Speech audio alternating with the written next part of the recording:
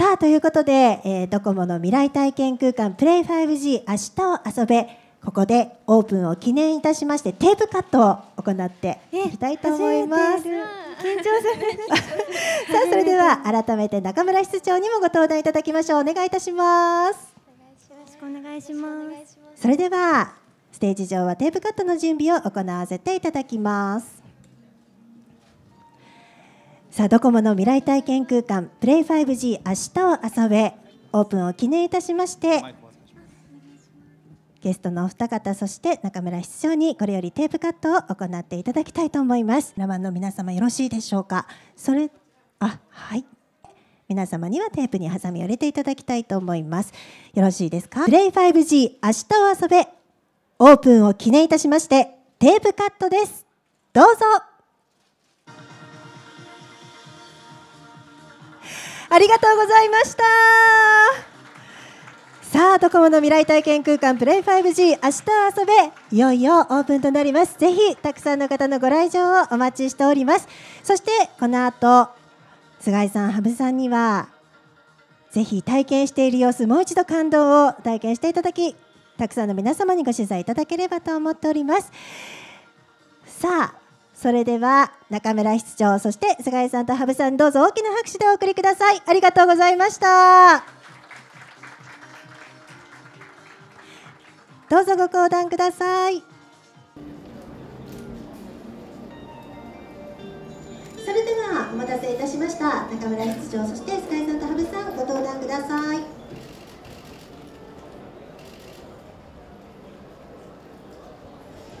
よろしくお願いいたします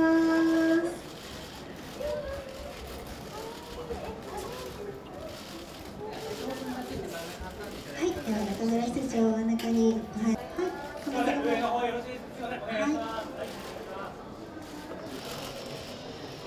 ちょっとお二人の声を取ろうとすると私が映り込んでしまうので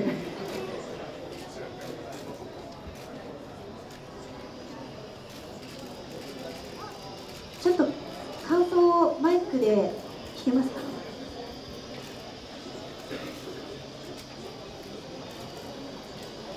すいなんかいろいろボタンをボタンを押すと選手がたくさん出てきて選ぶとその選手のなんだろう運転してる選手から見たレースの状レースの状況が見えるのですごい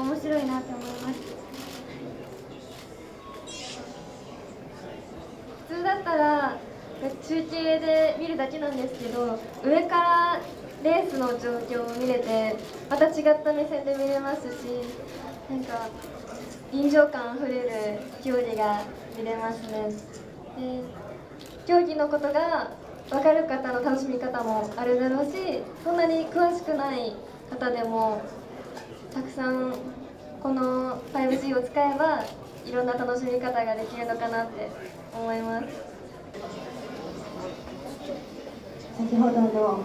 このレースを知ってる方も知らない方も楽しめるというようなコメントもいただきましたけどやっぱりそれだけ楽しみ方が広がるってことですかね。はいそうですね。えっと、こちらは、えっとまあ、レース当日の、えっと、音であったりですとかドライバーさんの心拍音であったり、まあ、そういった情報も全て、えっと、重ね合わせて、えっと、表示されているもので、えっと、本当にレースがその場で行われているような臨場感を味わうことができます。ね、お二人夢中になってお楽しみいただいてますけどどうですか？いろんな角度から楽しめますか？マイク。立体的に見えるんですけどこの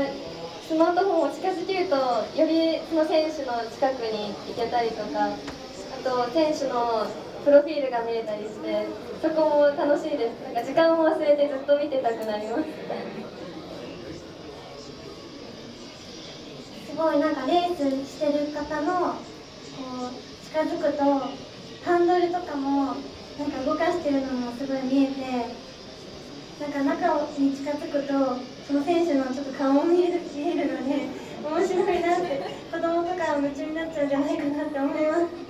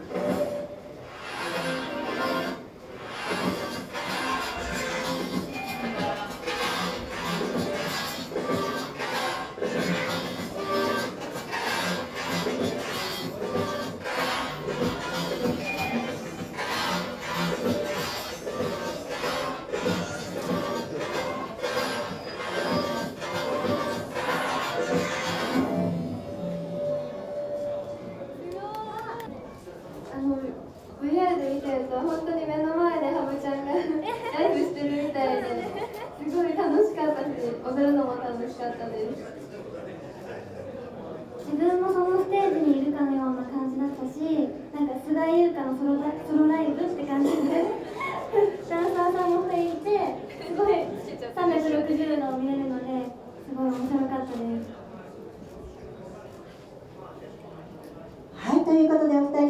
デモも体験取材、えしていただきました。ありがとう